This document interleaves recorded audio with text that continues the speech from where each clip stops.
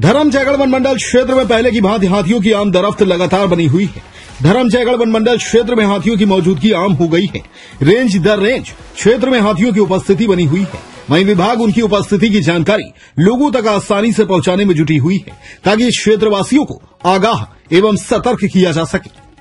एक जानकारी के अनुसार धर्म जयगढ़ रेंज और घरघोड़ा रेंज के सरहदी इलाका छेर चूची एक जानकारी के अनुसार धर्मजगढ़ रेंज और घरघोड़ा रेंज के सरहदी इलाका छेर चूची व बारूखोल जंगल में नौ से अधिक की संख्या में हाथी की मौजूदगी बताई जा रही है।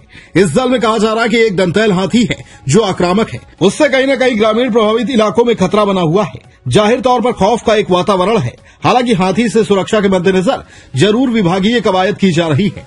इसी सिलसिलेवार में बात करें धर्मजयगढ़ के छाल क्षेत्र की तो वहाँ भी हाथियों की मौजूदगी बताई जा रही है। दर्जनों की तादाद में हाथी घूम रहे हैं। बताया जा रहा है कि धर्मजयगढ़ रेंज अंतर्गत तीन सौ सड़सठ कक्ष क्रमांक आम गाँव के जंगल में एकल दंतैल हाथी के विचरण करने की खबर है, जहाँ मौजूदा स्थिति के अनुरूप संबंधित वन अमला लगातार लोगों को जागरूक करने में लगा हुआ है।